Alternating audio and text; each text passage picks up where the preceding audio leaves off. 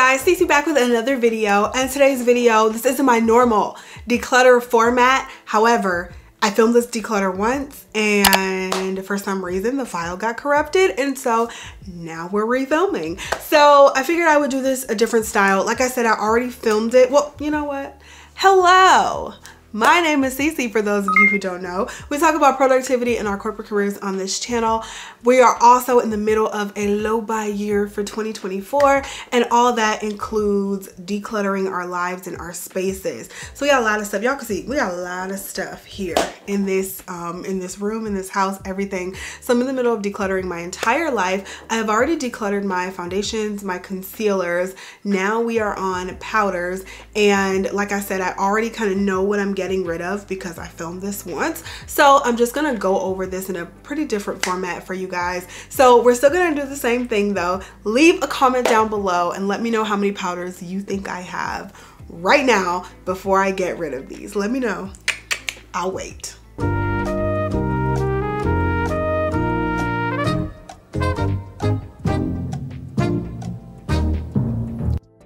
Fifty-one powders is what we started with.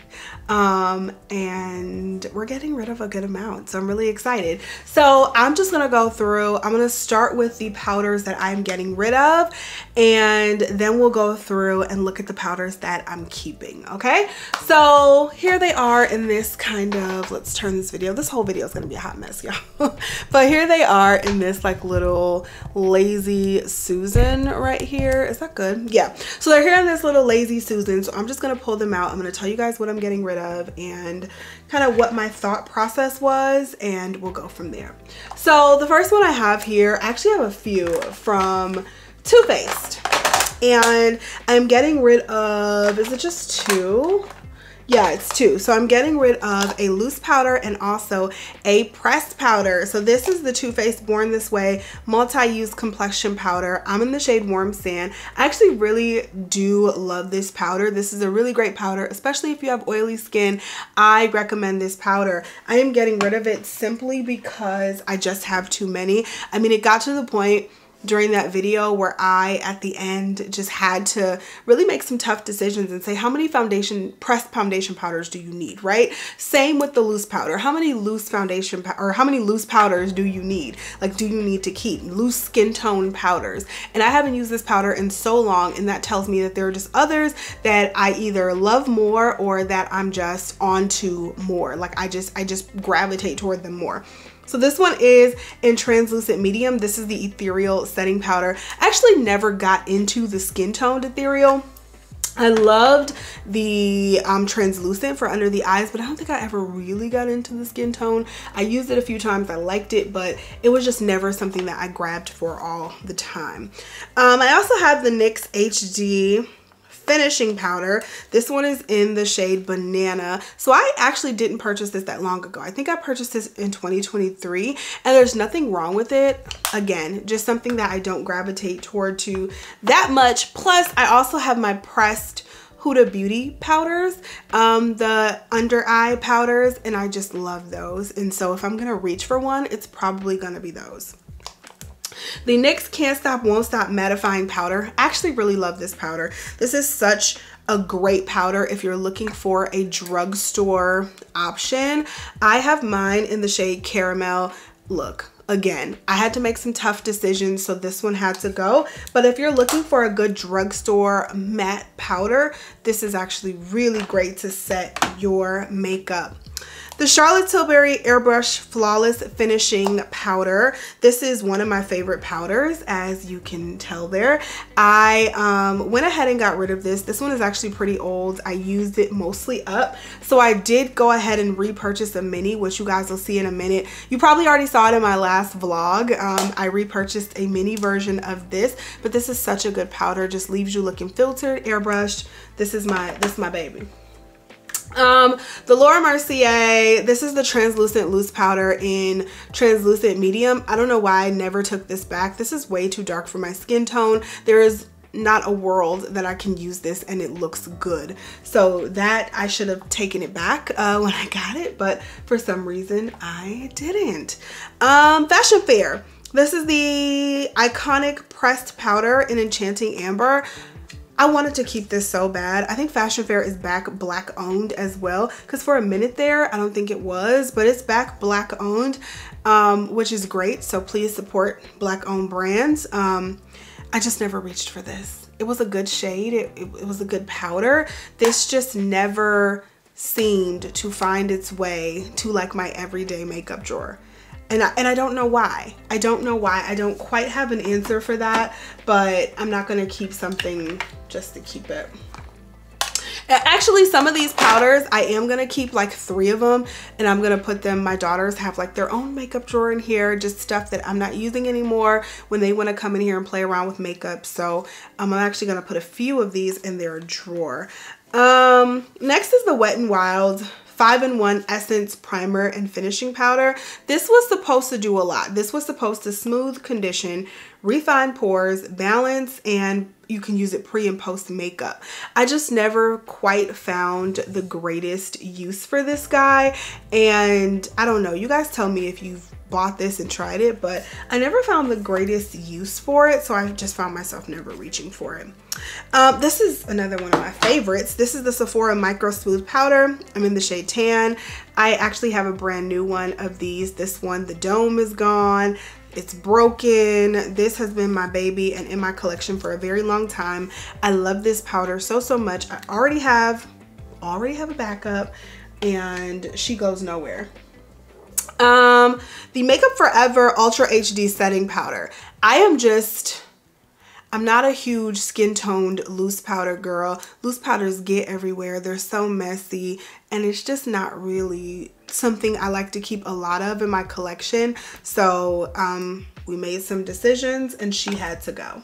So that same explanation goes for this Pat McGrath um, powder. This is another just a skin toned loose powder. Love Pat McGrath, love the products. This just gets everywhere. It's messy and I don't want to deal with it. Next up is this. This is um, a guy on Instagram. His like style channel is his handle and he's so funny on Instagram, but he also has his own waterproof makeup products. So I wanted to try this. This just isn't a good shade for under my eyes. This is the loose powder in the shade number six. Um, I First of all, his packaging is top tier. I love it so much. But again, this just isn't a great shade for my under eyes. So we don't like that. Um, the Hard Candy Chilling Sheer Envy Loose Powder. I don't think I've ever opened this or used it and I've had it for so long. So if I've never opened it or used it, that means your girl does not need it and it needs to go to another home. Same with this Sephora Translucent Setting Powder because we never opened her. So why would we keep it in the collection? I'm not even going to open it and pretend like I'm going to use it because I'm not. Um, the Kosas Pillowy Cloud Set Powder. Um, she cute and all. I just never picked her up. I don't know why. It's a little light skin too. Just just a little bit. It's a little light skin. Um, I don't know why I never picked her up, but I didn't. And there's no sense in just holding on to her. All right, let's talk through the Morphe Bake and Set Setting Powder and Brightening pink. This, um, I have, y'all know I got the pink powder bug, but I had the Huda pink powder, I had the one size pink powder, and just how many pink powders do you need? I feel like when I tried this also, this just was not as flattering under the eyes, not the color, but the actual powder. So this is a no for me. The Revolution Super Matte Powder. This is another one that I barely picked up. I think I might have used it once or twice and I just, it wasn't memorable enough for me to even give you a review on it. So if that's the case, I have others that I love that I'll stick with. Um, oh, here's one. This is the Patrick Ta for Face um, cream foundation and setting powder. So I don't know which video to put this in, whether the foundation or the setting powder, but I hardly use um, either. And I don't know, this this was an innovative product, I guess, if you're trying to travel or whatever. And I used the found actually did use the foundation quite a bit, but the powder, um, it's just like it's light skin.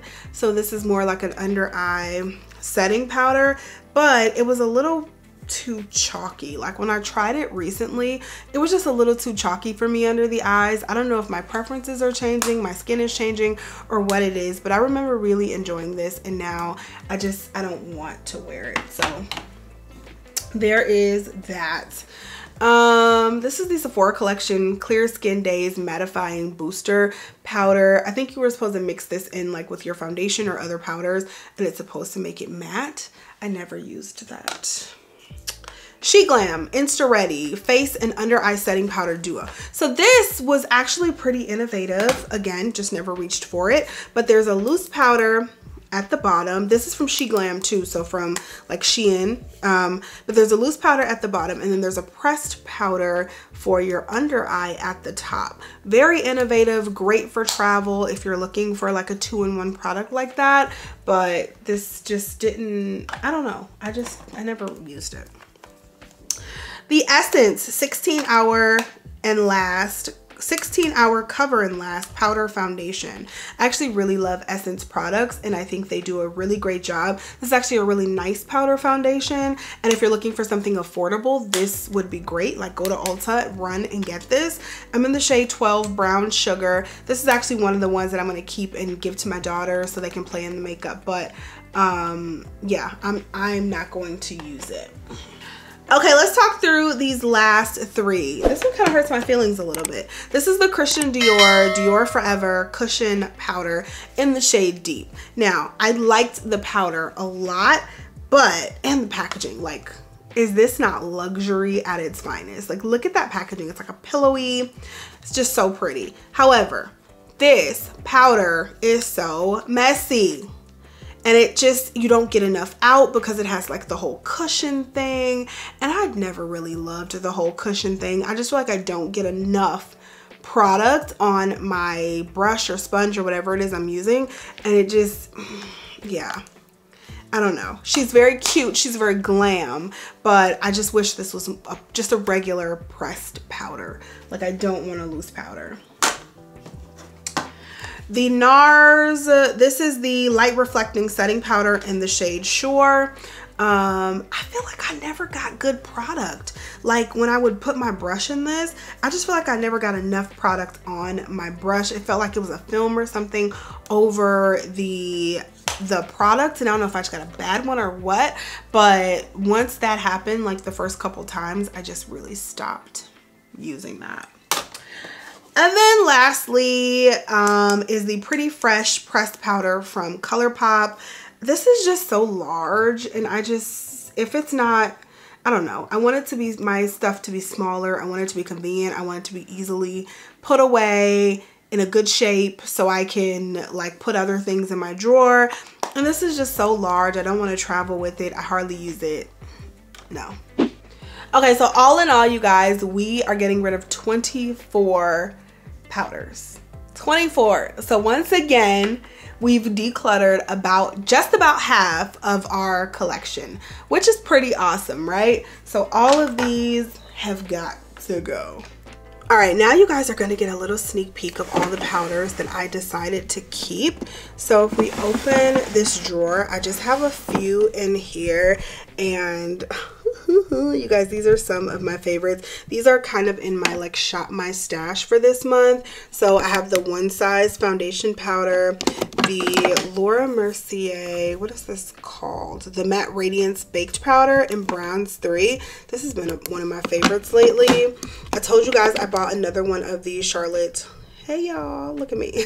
I told you guys i bought another one of the little charlotte tilbury um the flawless what do you call this flawless filter powder or whatever it's called but I just got a little one in the same shade tan and I felt like a little one was necessary um, the Easy Bake and Snatch Press Powder by Huda Beauty. Huda Beauty makes some of the best setting powders in the game. So if you're looking for a good powder for under the eyes, try Huda if you have not. This one's in the shade Blondie, which is one of my favorite shades. I also have this in a loose powder form. But then I have the loose powder in her new shade Peach Pie. I actually just recently um, purchased this one. And then I have it also in Cherry Blossom, the iconic Cherry Blossom cake that everyone's always looking for. I definitely want to try to uh, mix these and see what they look like under the eyes because I think they're going to be beautiful mixed together. Um, here I just have the one size ultra pink powder in here. I threw away the canister. The container is so large and um, from what I had left, I was able to fit in this little jar. These jars I bought from Amazon. I'll link them below if you're looking to move your makeup into something else, but I love this one size powder. It is amazing. And then I have this ColourPop powder and this is a mix of the banana and the translucent and it looks so beautiful underneath the eyes. So I just have a little bit of that left. Okay, let's talk through these other powders. This is just my powder my powder drawer. I have all of my powders in here besides the ones that you just saw. And these are, again, the rest of my keepers. So I have th these hidden here. This is just a Rare Beauty um, like blotting powder and blotting sheets that we have here. So I keep that in there. And then I also have this Hourglass Guy.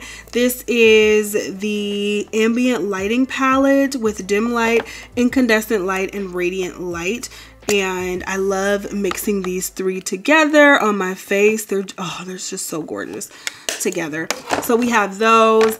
I have a Rare Beauty. This is a loose skin tone powder. Like I said, I had to make some decisions, and so I was keeping the Rare Beauty, and that is my only loose skin toned powder, I think, that I kept.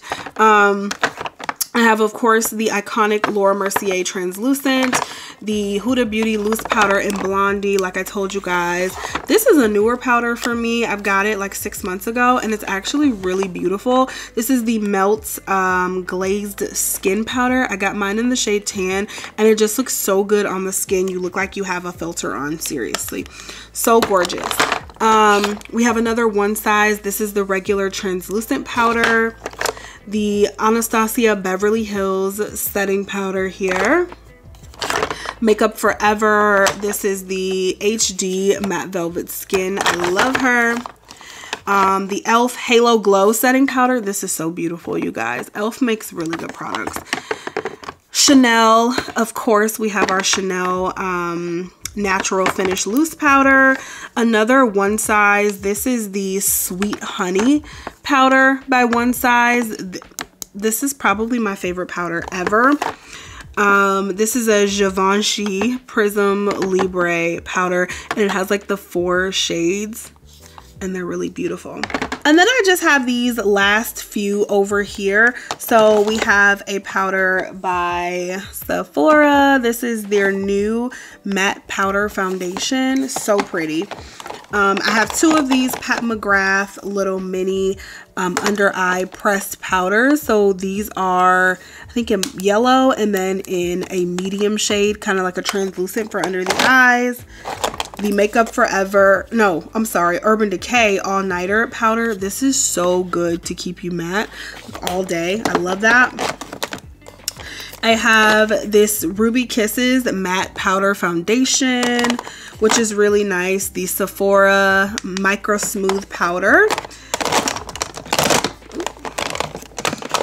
And then the last two, I have the Fenty Pro Filt'r, Pro Filt'r? Yeah, Pro Filt'r Soft Matte Powder Foundation. I'm in the shade 370 and the Dior, this is the Dior Backstage Face and Body Powder No Powder and I'm in 3N and that is that. So you guys, that is it. Those are all of the powders that I am keeping. That is my entire powder foundation. I hope you guys enjoyed this video and this format. If you like this format, let me know. Um, I might go back and forth with the rest of the products that I have to go for this declutter. So hopefully you guys enjoyed this. Thank you, thank you, thank you so much for your love and support. I hope you're getting something from this declutter, just getting those motivation or that motivation to just go ahead and declutter your own life, okay? Give this video a thumbs up if you love it. I love you guys so, so much. Thank you so much for watching and supporting my channel and I'll talk to you in the next video. Bye.